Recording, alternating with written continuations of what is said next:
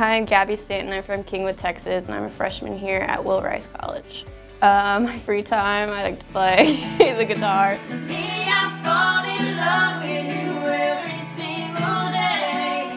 Some songs I like to play could be Trap Queen, uh, Get Low, some Taylor Swift. Favorite movie right now are the Taken series.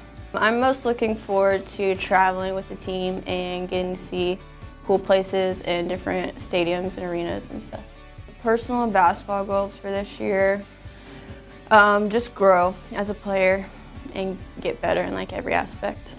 In the off season or summer workouts were different. Um, just coming like from a high school level to a college level, obviously there's always a um, big intensity difference, but um, overall it was, it was a good experience.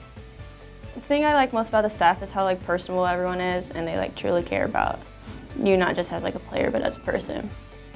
Who's the worst dancer on the Me. Why me crank that Soulja Boy, that Superman, that Now why me crank that soldier? Now why me crank that soldier? Now why me crank that soldier? Now why me crank that soldier? Now what?